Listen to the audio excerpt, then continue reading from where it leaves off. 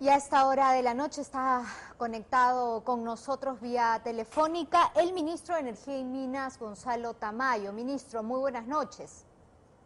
Eh, buenas noches, ¿cómo está? ¿Cómo está? Ministro, a consecuencia de los huaicos, bueno, pues se habla ahora de un supuesto recorte del suministro eléctrico. ¿Esto es verdad o es mentira? Eh, es mentira. No hay que alertar eh, de manera tendenciosa, sin ningún fundamento estas centrales térmicas, que son bien importantes para el suministro del país, han sido construidas con estándares de seguridad y, están a una altura de cerca de 10 metros del cauce del río Seco en su momento y que ahora está eh, mandando algunos huaicos. Nosotros estamos monitoreando esta situación desde enero, porque obviamente nos interesa que no haya riesgos de abastecimiento y la situación está bajo control.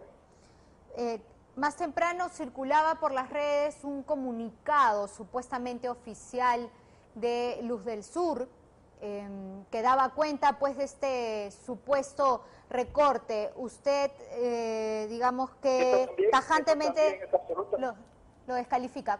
¿Perdón? Eso también es, eso también es absolutamente falso. Tengamos, eh, por favor, yo les agradezco la posibilidad de verificar directamente la información conmigo y que tengamos mucho cuidado con información tendenciosa que se reparte por redes sin mayor sustento. Muy bien, El sistema eléctrico está seguro y tenemos capacidad de generación disponible para abastecer necesidades del país.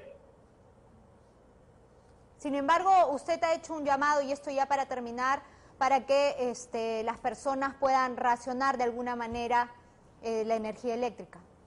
No racionar. Lo que, lo que he pedido es que ahorremos energía, utilicemos la energía que requerimos y desconectemos equipos que estén enchufados y no los usemos, apaguemos focos en áreas donde no estemos, eh, porque lo que queremos es que el sistema trabaje con la mayor seguridad posible.